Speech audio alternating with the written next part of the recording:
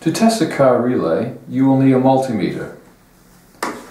There's two ways of testing it. One method is using a 12 volt car battery, or the other method is simply take the relay apart, push the coil together, and then test it.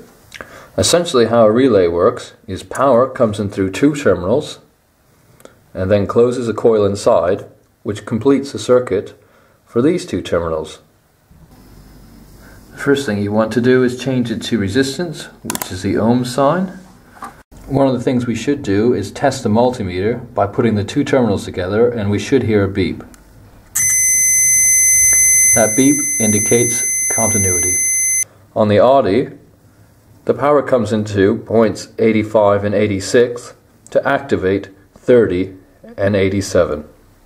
On the Ford relay, the power comes in through the small terminals and activate the large terminals. Let's just check the continuity between the power points, uh, which is 85 and 86.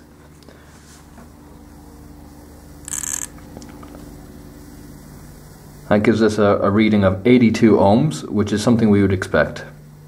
What we're testing for in the Ford relay is continuity between the big terminals, and in the Audi relay, we're testing for continuity between 30 and the 87 points.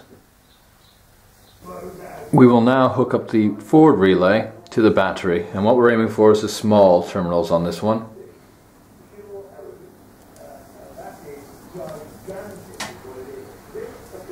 You should hear a click.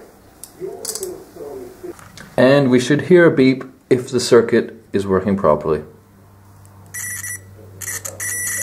Which we do.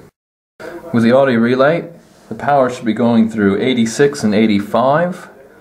So again, we'll connect the batteries up to these and we should hear a clicking sound, which we do. So that would indicate it works, but we'll test it with a multimeter.